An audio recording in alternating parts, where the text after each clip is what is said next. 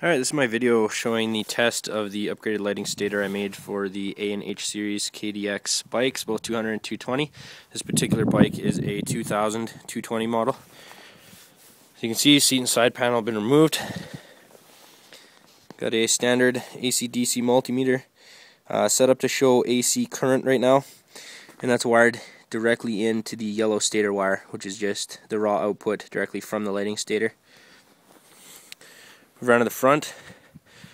Got another AC DC multimeter. This time it's set up to show AC volts. And that is wired in to two 55 watt H7 car headlight bulbs. Those are wired in series. And the voltage reading will be taken directly from them. In addition to the two 55 watt bulbs, the stock 10 watt taillight bulb is in place. So that should give us a total draw of about 120 watts. Uh, it's about minus 10 degrees right now.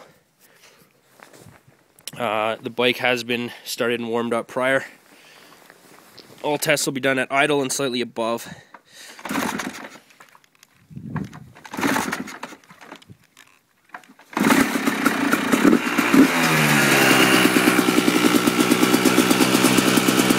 Uh, turn the headlight switch on.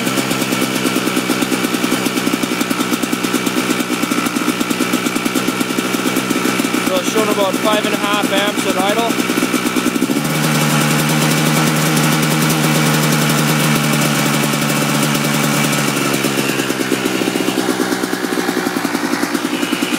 And at idle, showing about 12 and a half volts. And that is with both headlight bulbs and the tail light functioning.